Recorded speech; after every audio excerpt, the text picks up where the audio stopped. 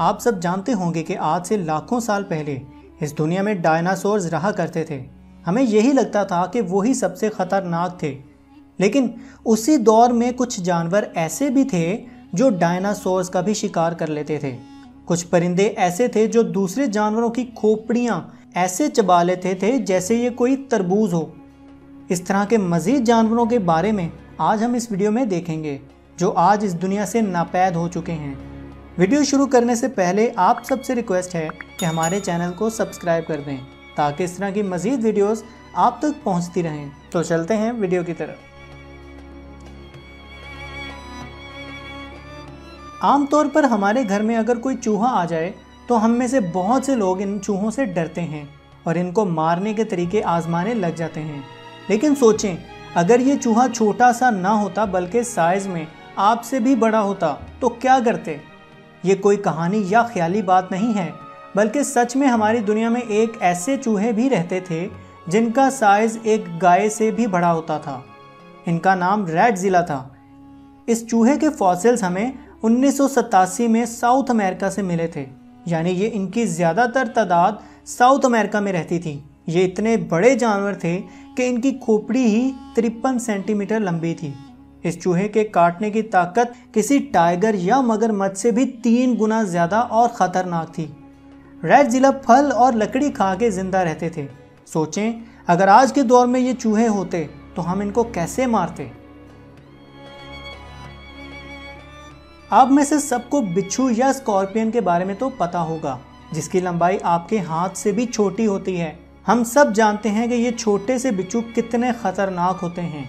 लेकिन सोचें अगर यही छोटा सा बिच्छू पाँच फुट तक लंबा हो जाए तो ये कितना खतरनाक हो सकता है? गिगांटिक एक्वेटिक स्कॉर्पियन जिनको सी स्कॉर्पियन भी कहा जाता है, ये कोई आम स्कॉर्पियन नहीं थे।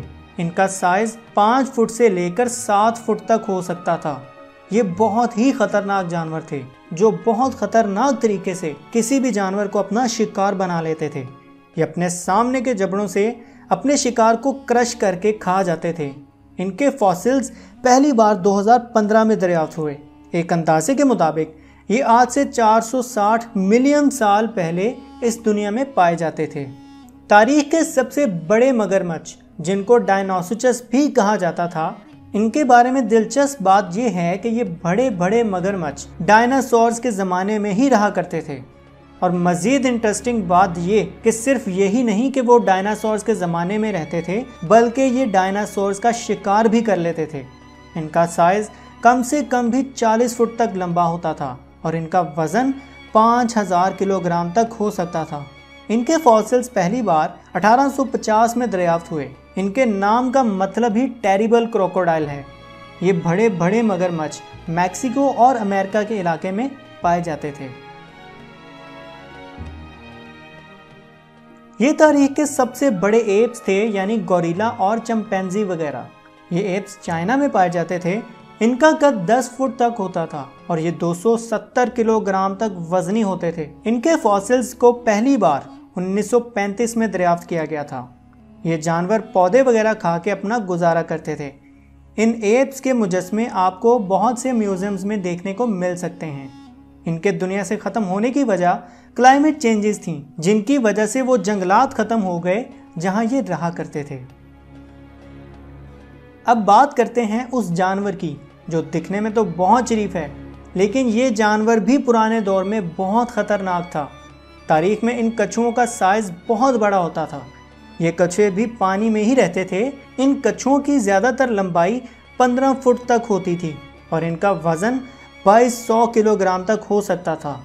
ये 100 साल तक भी ज़िंदा रह सकते थे। ये कछुए मछलियाँ और समुद्री पौधे खा के अपना गुजारा करते थे।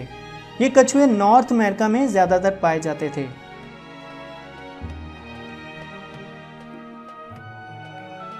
आमतौर पर हम मछलियों में सबसे खतरनाक ग्रेट व्हाइट शार्क को ही समझते हैं।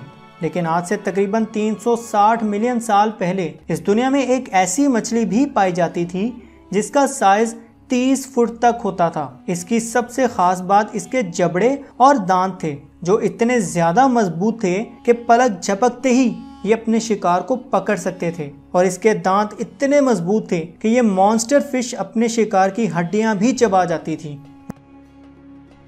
ग्रेट पिरानास साइंसदानों के मुताबिक ये पिराना मछली आज से 10 मिलियन साल पहले इस दुनिया में पाई जाती थी, जो कि तीन फुट तक लंबी हो सकती थी।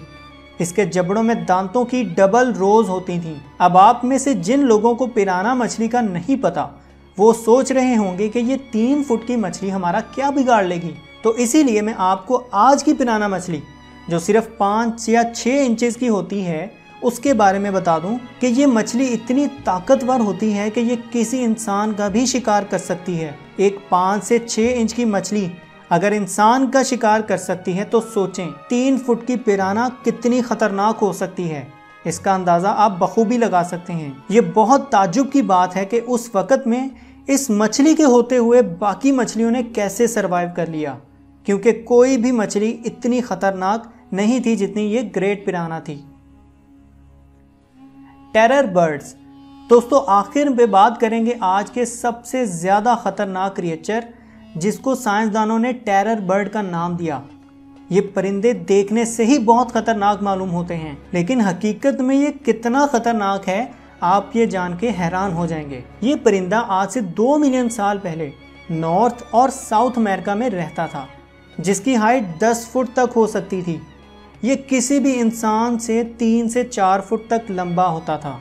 आज के दौर में किसी भी परिंदे का साइज़ इतना नहीं है। इसकी चौंच बल्कि इसको हथौड़ा कहना गलत नहीं होगा। ये इतनी मज़बूत थी कि ये परिंदा किसी भी जानवर के सर पे हिट करके उसे मार सकता था। और तेज़ इतनी थी कि मुख्तलिफ़ जानवरों की खोपड़ियाँ ऐसे चकना चूर कर देते थे, जैसे कोई आम जानवर किसी तरबूज को जबा जाता है। दोस्तों, अगर हम सोचें कि ये सब जानवर जो आज नापैद हो चुके हैं, अगर इसी दुनिया में होते तो क्या इंसान इनका मुकाबला कर पाता? यकीनन नहीं। इनके होते हुए इंसान का ज़िंदा रहना किसी मुआवजे से कम ना होता। इनके नापैद होने में यकीनन यही हिकमत थी कि इस दुनिया में इंसान ने आना था। उम्मीद है आज की वीडियो आपको पसंद आई होगी।